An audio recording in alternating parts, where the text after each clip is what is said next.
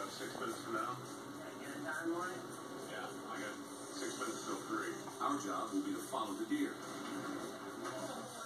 making sure they don't get into any trouble while under the influence.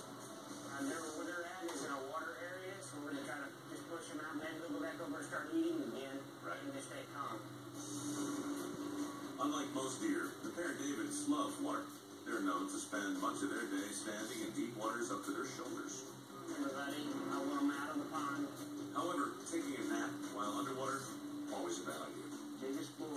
pool. We're just waiting for him to go in. I'm trying to keep him out of the water right now, so we don't have to go swimming. So it's about six minutes. The idea was to get them away from the water. So uh, in about a minute, the drug works. They'll start to drop. And phase two happens. I'm not sure what phase two is, to be honest.